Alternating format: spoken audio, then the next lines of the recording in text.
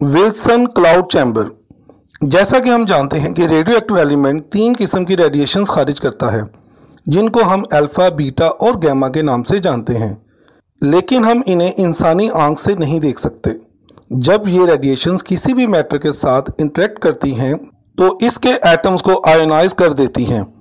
इन radiations को detect करने के लिए विल्सन ने एक डिटेक्टर बनाया।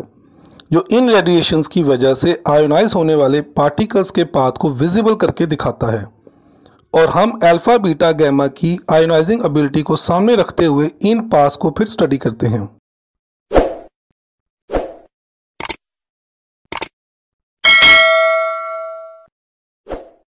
सबसे पहले हम पिस्टन पर लगे पैड पर अल्कोहल फेंकेंगे और चैम्बर को ग्लास विंडो से बंद कर देंगे।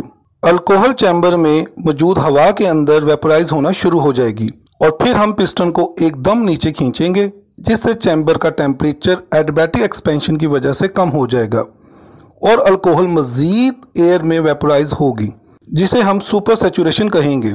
जैसे ही रेडिएशंस को फ़र्स्ट विंडो से हम चैम्बर में रिलीज़ करेंगे, रेडिएशंस एयर पार्टिकल्स को आयोनाइज करना शुरू कर देगी। और अल्कोहल वेपर्स इन आयोनाइजिंग पार्टिकल्स के इर्द गिर्द इकट्ठे होकर ड्रॉपलेट्स बनाना शुरू कर देंगे।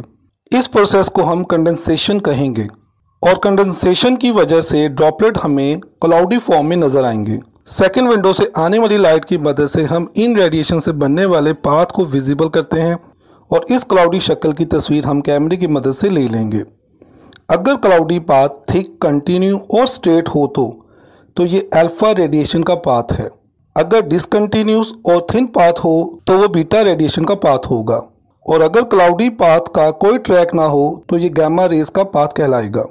अगर हम चैम्बर को दोबारा इस्तेमाल करना चाहते हैं तो एक बैटरी की मदद से वन किलो वोल्ट का पोटेंशियल डिफरेंस अप्लाई करेंगे, जिसकी मदद से अनवांटेड आयंस को क्लियर किया जाएगा, ताकि एयर न्यूट्रलाइज हो जाए और हम नेक्स्ट टाइम दोबारा से इस चैम्बर की मदद से रेडिएशंस को डिटेक्ट कर सकें।